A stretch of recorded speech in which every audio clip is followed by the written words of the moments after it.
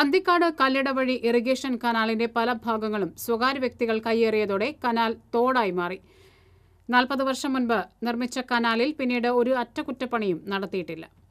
ഏറെ വിസ്തൃതിയേറിയ അന്തിക്കാട് പഞ്ചായത്തിലെ വടക്ക് കിഴക്ക് പടിഞ്ഞാറ് മേഖലകളിലെ മുഴുവൻ മഴവെള്ളവും പാടശേഖരങ്ങൾ വഴി ഏനാമാക്കൽ ഇറിഗേഷനിലൂടെ ഒഴുകി കടലിലെത്തുന്നതിന് സഹായകമാകുന്ന ഏക ഇറിഗേഷൻ കനാലിന്റെ അവസ്ഥയാണിത്. ഇരുകരയിൽ നിന്നും മണ്ണിടിഞ്ഞും പാഴ്പുല്ലുകൾ പടർന്നു കയറിയും കനാലിനെ കാണാനില്ലാത്ത അവസ്ഥയിലാണ്. പ്രളയത്തോടെ സംഭവിച്ചുകൊണ്ടിരിക്കുന്ന അനിയന്ത്രിതമായ മഴപ്രവാഹം സമീപ പ്രദേശങ്ങളെയും ഭീതിയിലാക്കിയിട്ടുണ്ട്.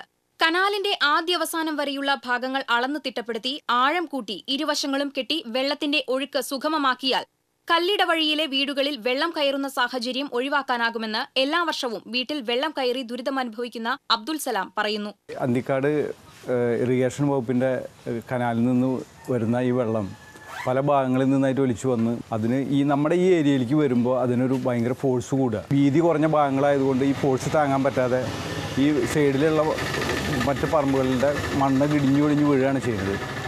അപ്പോൾ അത് അതിനുള്ളൊരു ശ്രമം. ഒപ്പം തന്നെ ഇതിൽ വരുന്ന കുളവാഴ ചണ്ടി പുല്ല് ഇതൊക്കെ ഇവിടെ നിന്ന് നീക്കം ചെയ്ത് എന്തെങ്കിലും ചെയ്തെങ്കിൽ മാത്രമേ ഇതിന് എന്തെങ്കിലും ഒരു പരിഹാരം ഉണ്ടാവാൻ പറ്റൂ ഉണ്ടാവുള്ളൂ.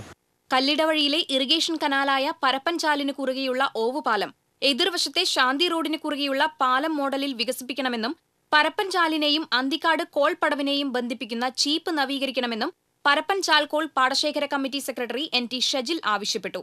നായനാർ മുഖ്യമന്ത്രിയായിരിക്കുമ്പോൾ പാടശേഖരത്തിന്റെ തോടുകൾ മാടാൻ ഫണ്ട് അനുവദിച്ചിരുന്നു.